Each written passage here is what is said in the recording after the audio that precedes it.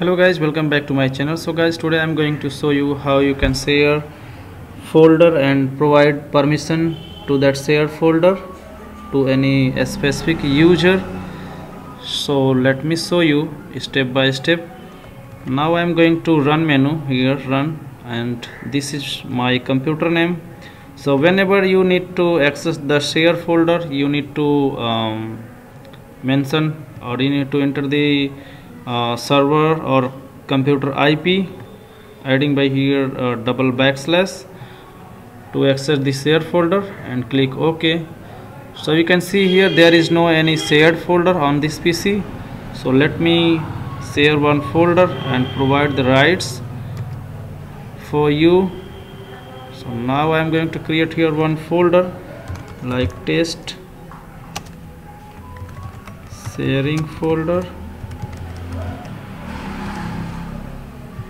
and let me share this.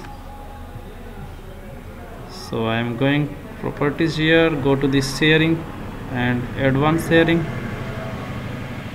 You can share by going here option like share but you, you will go with the advanced sharing option.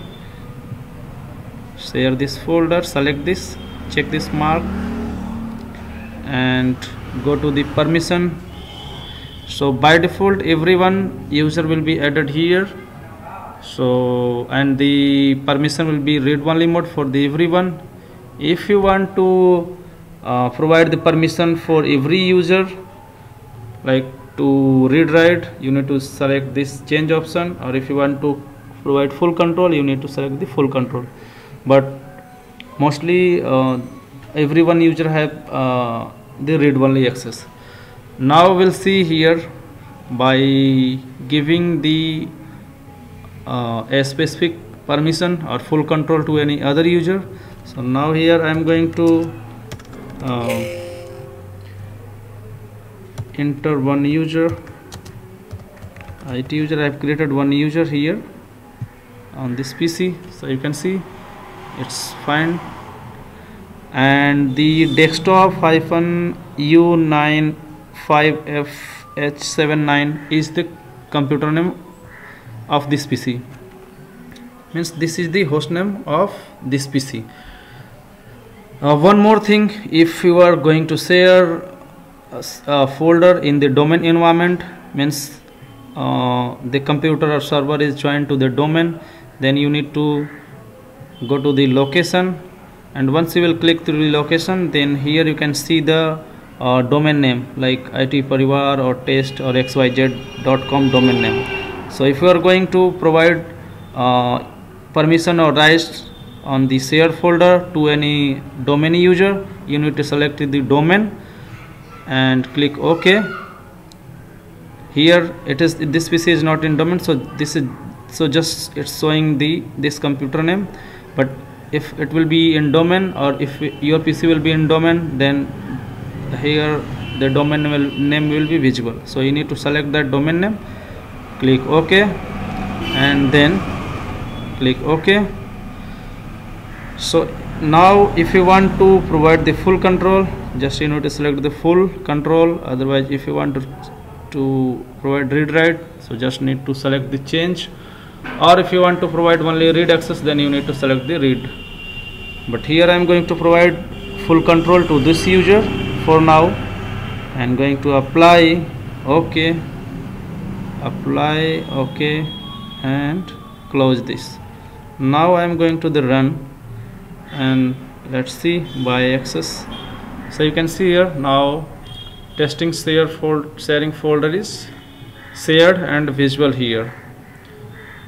Let us try to create any files or folder here. You can see you need permission to perform this section test sharing folder. Why we are not able to create here? Because I have logged in on this PC with this user you can see the username is UK but we have provided the full control rights to the IT user. So let us jump on the testing sharing folder again here. Go to the sharing tab. You can see here go to the permission. Only IT user IT user have the full control.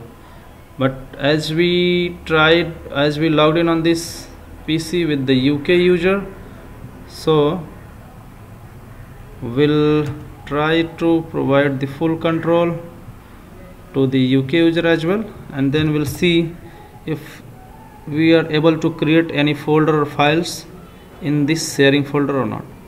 So check names. Now it's find. Click ok. And provide the full control just for the testing. Apply. Ok. Apply. Ok. And close this. Close this window. So now go to the run menu access this PC again and testing sharing folder. As we have provided the full control for this user also so we'll try to create the file. Yes now we are able to create file inside this testing sharing folder. Let us try to create any test folder yes we are now able to create the folder also. So in this way you can provide the uh, permission to the any specific user like full control or read write